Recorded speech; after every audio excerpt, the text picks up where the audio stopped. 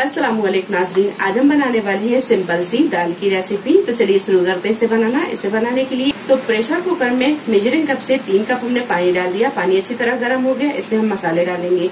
अगर आपके यहाँ छोटे बच्चे हैं तो बच्चों के लिए अगर आप दाल निकालते हैं तो फिर दाल में सिर्फ़ हल्दी और नमक डाल के दाल को उबाल लें। हम यहाँ थोड़े से मसाले डालकर इसे उबालेंगे। तो एक टीस्पून डालेंगे हम हल्दी पाउडर मिर्च आप अपने टेस्ट के हिसाब से कम ज़्यादा कर सकते हैं और एक टीस्पून नमक। नमक भी आप अपने टेस्ट के हिसाब से कम ज़्यादा कर सकते हैं। एक मीडियम साइज़ का टमाटर इसे हमने बारीक काट लिया। ये डाल देंगे। एक कप तुअर की दाल, यानी अरहर की दाल, और दो टेबल स्पून मसूर की दाल।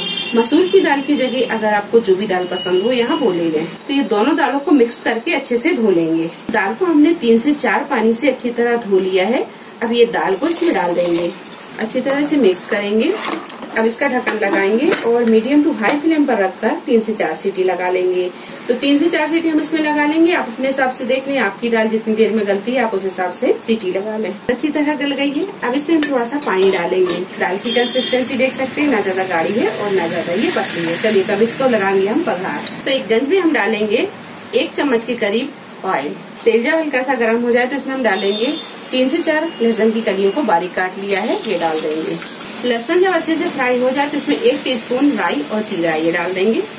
तीन से चार साबुत लाल मिर्च। प्याज को बारीक काट लिया है, ये डाल देंगे। और थोड़ा सा करी पत्ता। ये सारी चीज़ों को थोड़ी देर भून लेंगे। प्याज जब हल्के से फ्राई हो जाए तो इसमें हम डालेंगे एक मीडियम साइज़ का टमाटर। इसे बारीक काट लिया है। टमाटर जब अच्छे से सॉफ्ट हो जाए तो इसमें हम डालेंगे एक टीस्पून कश्मीरी लाल मिर्च। अच्छे से मिक्स करेंगे और इसमें डालेंगे ये दाल। गैस को यहाँ फुल पर करेंगे और दाल को अच्छी तरह मिक्स करेंगे। तो दाल में एक उबाल आने देंगे, इसे हम थोड़ा सा ढाक देते हैं। तो इसे हम पूरा नहीं ढाकेंगे, इसे आधा ढाकेंगे, आधा खुला रहने देंगे। दाल में अच्छी तरह उबाल आ गया है। ये देखिए, अब हम गैस को बंद करेंगे और इसमें डालेंगे बारीक कटा हुआ हरा धनिया। गैस को कर देंगे बंद और इसे कर लेंगे मिक्स। दाल को कर लेंगे हम डिश आउट तो सिंपल सी दाल बनकर तैयार है। ये देखिए, आप इसे चावल के साथ खाएँ या रोटी के साथ खाएँ, ये बहुत ही मज़े की दाल बनी है।